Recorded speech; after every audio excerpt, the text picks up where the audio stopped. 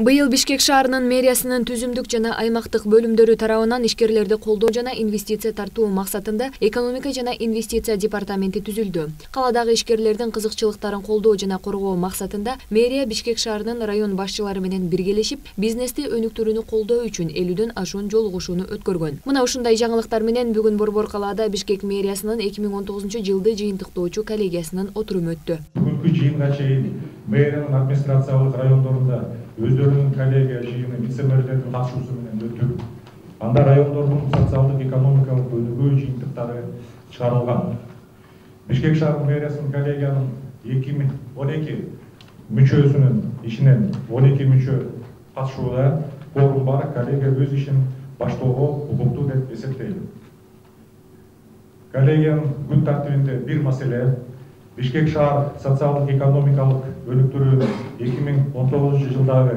жыйынтыктары жана эки миң жыйырманчы жылга карата бишкек шаарынын мэриясынын милдеттери жөнүндө бишкек өлкөбүздүн саясий экономикалык тарыхый маданий жана туристтик борбору. Борборду өнүктүрүү көркүнө көрк кошуу жана анда жашаган жарандарга ыңгайлуу шарттарды түзүү мэриянын башкы максаты. Өткөн жылы мэрия негизги артыкчылыктарды президент сооронбай жээнбековдун эки миң он тогузунчу жылды аймактарды өнүктүрүү өлкөнү санариптештирүү деп жарыялоосунун негизинде өкмөттүн биримдик ишеним жаратмандык концепциясына планын бурду. Коллегиянын отурумуна катышкан биринчи вице премьер министр кубатбек боронов эки миң он тогузунчу жылы жасалган иштерге токтолду өзүңүздөргө белгилүү болгондой президентибиз урматтуу сооронбай шарипович коррупция менен натыйжалуу күрөшүү милдеттерин коюп бул багытта өкмөт тарабынан бир топ иштер жасалып жатты бул биринчи кезекте экономикабызды жакшыртуу максатынан келип чыккан маселе болуп эсептелет анткени бүгүнкү көмүскө экономиканын деңгээли дагы эле жогорку бойдон калууда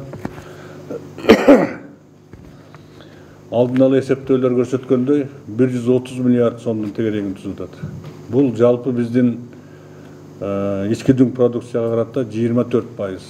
Бул официалдуу көрсөткүч өлкөнүн экономикалык өнүгүшү туура багытка жол алды. Бул тууралуу коллегия отурумунда биринчи вице премьер министр сөз кылды. Ал өлкөнүн экономикалык жетишкендиктерине бишкек мэриясынын чоң салымы бар деп эсептейт. Себеби өткөн жылы бишкектин региондук дүң продуктусу өлкө аймагынын ички дүң продукциясынын жалпы суммасынын кырк пайызын түзгөн. Дүң продукция жөнүндө мен цифраны айттым. Беш жүз токсон миллиард деп.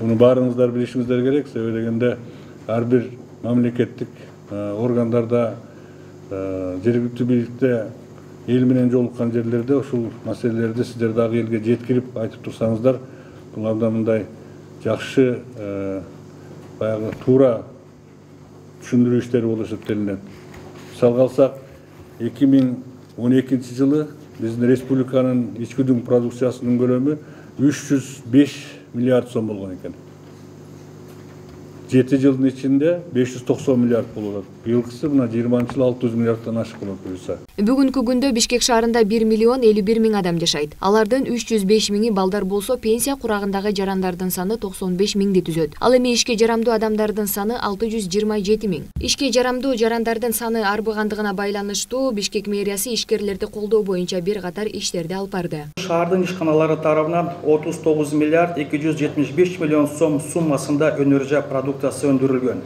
накта көлөм индекси жүз он төрт пайызды түздү рыноктук кызмат көрсөтүү көлөмү жүз алты пайыз өсүү темпинен төрт жүз миллиард сом он тогузу жылдын тогуз айынын ичинде бишкек жүз алтымыш миллион акш доллары суммасында чет өлкөлүк түз инвестиция тартылган негизги капиталга алтымыш бир миллиард сегиз жүз жыйырма тогуз миллион сом инвестиция өздөштүрүлдү. Коллегиянын отурумунун жүрүшү жыйынтыктар менен гана чектелбестен катышуучуларга борбор калаадагы көйгөйлөрдүн үстүнөн иштөө боюнча тапшырмалар берилди. Алсак борбор калаадагы таштанды полигону. Ошону менен катар мэр тиешелүү кызматтын башчыларына өзүнүн районундагы жоюлбай жаткан кемчиликтердин үстүнөн иштөө тапшырмасын берди. На сегодняшний день идет исполнение девяносто шесть процентов.